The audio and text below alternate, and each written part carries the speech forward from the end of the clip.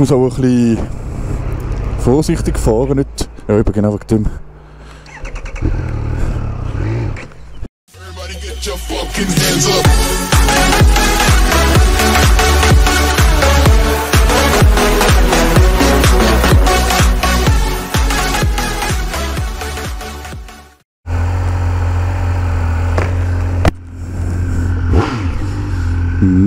Moin, moin, moin, moin, moin, meine lieben Freunde, herzlich willkommen zum neuesten Video. Ey, der Töff kann so viel, der kann so viel in in seinem Bordcomputer, das ist nicht normal.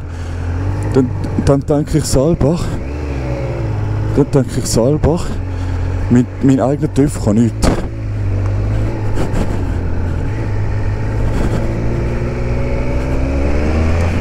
Ey, du bist ganz schnell unterwegs. Krass, hey, schauen wir uns mal da einen zweiten Gang. Schau mal die Beschleunigung ey. Nicht normal.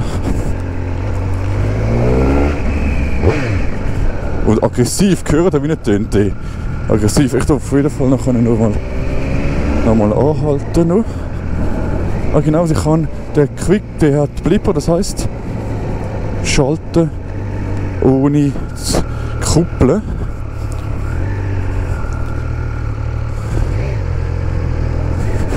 Aber ich muss das mir ein bisschen, das ist ein bisschen alles ein bisschen anders. Ich muss das ein bisschen ausprobieren. Ich habe das Gefühl, ich muss mich extrem daran gewöhnen auf die, oh, die Leistung. Alter Mann, ey. Der hat 130 PS mehr als mein anderer TÜV. Ich würde jetzt mal sagen, im ersten Video tun wir noch gar nichts von diesen Umstellen vom... Äh, man kann da Regen man kann Regenmodus, man kann Strassenmodus, man kann ähm, Rennstrecke. Aber beim ersten Mal Video würde ich sagen, dass wir gar noch nichts machen. Das Gute ist auch, wenn du es abstellst, wenn du das abstellst, dass wieder alles auf Null gesetzt ist, das finde ich auch gut. Vor allem, wenn man sich mit der Technik überhaupt nicht auskennt und das nicht kann, äh, nicht weiss. Jetzt habe ich vorhin eine GoPro verbinden. Das ist einfach, dass man GoPro mit dem TÜV abstellen kann. Und nicht mehr äh, größere Funktion, eigentlich wie eine Fernbedienung. Ähm, boah, hey, schau mal, wie der schnell läuft im Stammgas.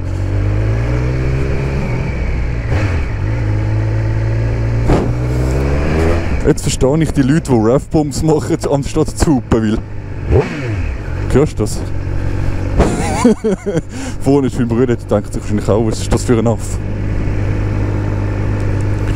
Ich hoffe, die Kamerasicht ist gut. Boah, du gehört, wie der abgeht?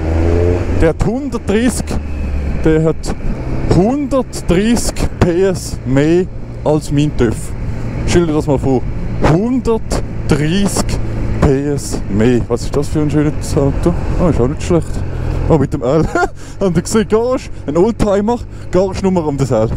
Super, sehr schön. Nein, der TÜV ist wirklich... Ich tue nachher noch mal kurz anhalten und dürfen zeigen. Das Problem ist, er hat so viele Funktionen. Eben, er hat Kurven ABS. Das ist schon mal hure geil. Jetzt habe ich, wenn du einmal übertippst, dann tut er dreimal blinken. Wenn du einmal Blinker übertippst, wenn du ihn komplett reinlässt, dann lässt und du aus der Kurve rausgefahren bist, dann tut er dann ähm, den Blinker wieder wegnehmen. Alter Mann, ich fühle mich so wie ein richtiger TÜV-Fahrer. Blöd gesagt, so richtig ein lauter TÜV-Fahrer. Weil meine, weil meine Honda ist ja eigentlich leislich. Obwohl ich also mittlerweile auch gefunden, sie ist laut, aber wenn du jetzt dort TÜV fährst, ey, alter Mann. Alter Mann, ey. Ich wollte ja nicht äh, den Sonntag verderben den Leuten, aber ich, ich kann nichts machen, der ist laut. Ich fahre im Standgas. Ich fahre bei 2000 Touren da man nach Suchter. Nein, wirklich, schön. Der macht wirklich Fun. Der macht wirklich richtig Fun, der TÜV. Und er ist auch hu- hu- hure wendig. Ich glaube, aber die Pneu sind bis zum Anschlag aufgepumpt.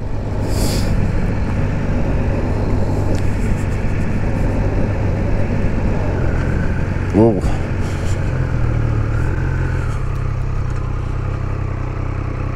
Ich muss auch ein bisschen vorsichtig fahren, nicht... Ja, eben genau wegen dem.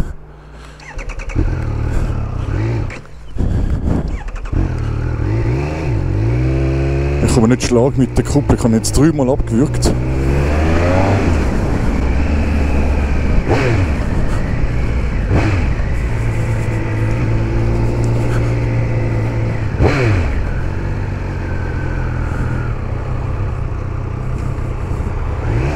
Ich glaube, da musst du mehr Gas geben,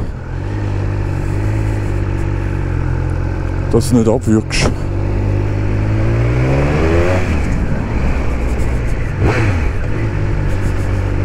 Bruder hat auf mich gewartet, sehr nicht.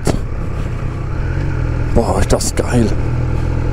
Aber ich komme nicht geschlagen mit, mit, dem, mit der Gang. Ich habe das Gefühl, äh, ich fahre falsch mit der Gang. Ich muss höchtouriger fahren bei dem TÜV, glaube ich, als bei mir. Weißt du, dass ich ein bisschen Angst habe, wenn ich nachher auf meinen TÜV zurückgehe, dass ich das Gefühl habe, Scheiße, Mann, was habe ich für ein TÜVli? Das ist ein bisschen das Problem, glaube ich. Das ist, glaube ich, ein bisschen das Problem. Wenn du jetzt einen TÜV fährst mit 180 PS, mit 1200 Kubik, dann steigst du auf, 7, auf 650 Kubik. 650 Kubik oder 750? Keine Ahnung mehr. Um 55 PS um, dass du denkst, oh Scheiße, Mann, was, das ist ein bisschen meine Angst. Aber schau mal, wie geil. Ich, langsam komme ich Schlag mit dem TÜV, glaube ich.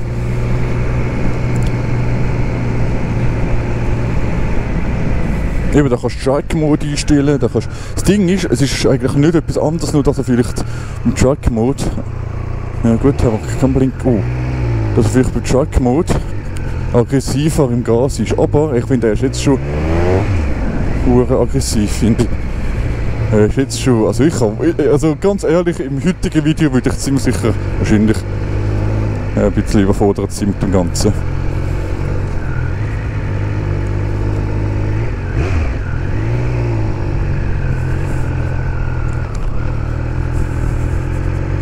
Ganz ehrlich.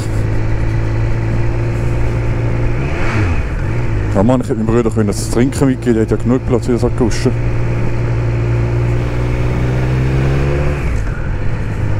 Boah, ist das geil.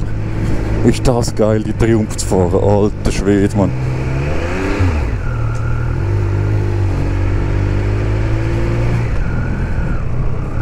Aber ich merke wirklich krass, dass ich wirklich aufs Gas mit dem, mit dem Gas muss wirklich, ich muss hochtouriger fahren mit dem, um einiges hochtouriger. Hey, aber das sind geile Spiegel.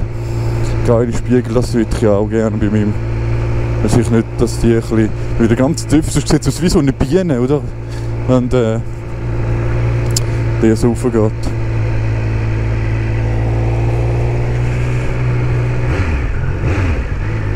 So, jetzt sollen wir, jetzt sollen wir mal komplett lang blinken. Und jetzt seht ihr, ich tue nicht blinken, nichts, ich tue nicht rausnehmen. Und jetzt wirst du wieder gerade. Ah, was soll ich falsch gemacht haben? Er blinkt immer noch. Was soll ich falsch gemacht haben? Blinkt immer noch. Probieren es nachher nochmal. Das, was der Maike gesagt hat. Also du hast ein einmal antippen ist für dreimal und ganz und komplett überziehen. Ich jetzt komplett überziehen. Ich fahre jetzt die Kurve, das ist doch eindeutige Kurve. Und jetzt mal schauen, ob er rausgeht. Nein, bei mir klappt es jetzt nicht ganz. Bei mir klappt es jetzt nicht ganz. Was ist, ob ich etwas falsch gemacht habe?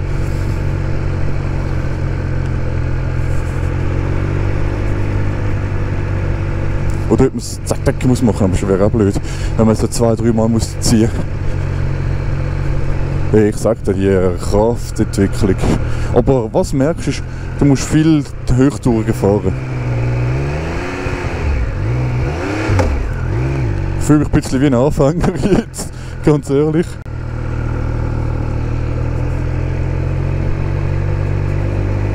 Ja, geht immer noch nicht raus.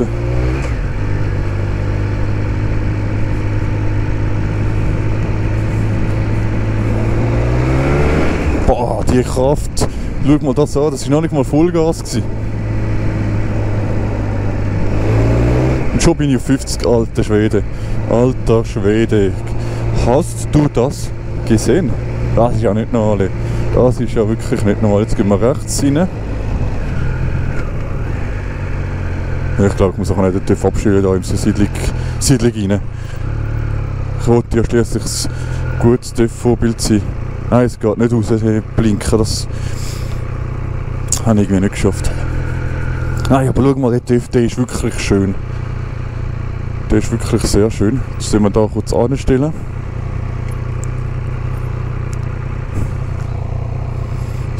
So. Das Ding ist auch, wenn du kannst da noch innerhalb von einer Minute noch auf, und zumachen. Boah, der TÜV ist wirklich krass. Jetzt, was ich gemerkt habe, ich bin jetzt vorne gefahren und im ersten Gang komme ich noch gar noch nicht zu Schlag. Und du musst auf jeden Fall höher durchfahren als beim TÜV. Auf jeden Fall musst du höher durchfahren als bei meinem eigenen, bei meiner Honda. Jeder, auf jeden Fall, weil sonst äh, merkst du gerade, dass er in Stotter reinkommt und dass er äh, also ein paar Bilder machen. Ich mache ein Bild von der anderen Seite. Du musst auf jeden Fall äh, hoch durchfahren, weil er sonst ähm, stottern kommt und sonst, äh, wie soll man sagen, ja, ab, ab, äh, abschmiert. Wir sind jetzt zweimal von der Kreuzung abgeschmiert. Und dann würde ich sagen, wäre es das gewesen für das erste Video. Ähm, ich tue nachher noch, vielleicht noch, eigentlich könnte ich probieren, den Mode umzustellen. Dann, je nachdem, was ich geschafft habe, ist dann der, das nächste Video mit dem Race Mode rein oder so. Mal schauen. Und dann würde ich sagen, ist das für das erste gewesen. Das Video ist extra nicht ganz so lang, nicht, dass es vielleicht ein dann langsam unspannend wird. Und dann würde ich sagen, bis zum nächsten Mal. Euer Obscuro 94. Ciao miteinander.